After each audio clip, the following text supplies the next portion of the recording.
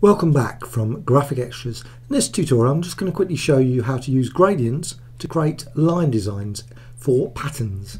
Now just going to go to Photoshop using CC but same approach for other applications obviously and just going to go to the gradient tool. I've got a gradient here, one of the gradients from the Graphicxtras Gradients collection.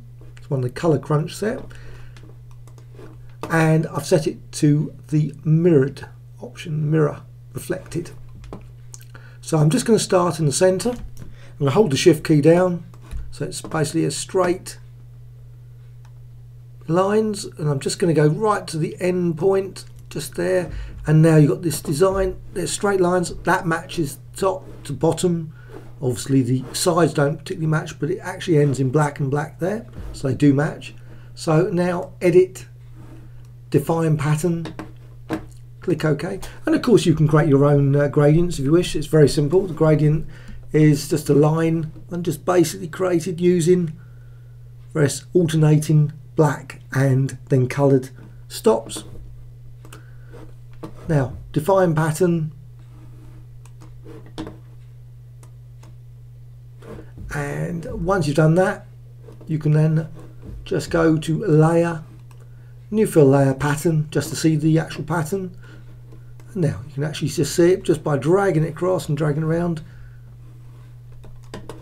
Straight lines that can be any position. You can actually stop there. Of course you can combine them if you wish as well. You can actually create multiple layers and I'll just show you that as well. Layer, duplicate layer and now put that to say difference. Just move up a bit because I can't see difference. And of course, that's and then you can just shift it slightly and you can actually see and again these are all straight lines it's a straight line pattern that can be used multiple times anyway hope you found this quick tutorial of interest and that you'll subscribe to the Graphicxtras channel and that you'll go and check out the graphicxtras.com website where there's lots of tutorials as well as lots of uh, things like gradients and others. Thank you much.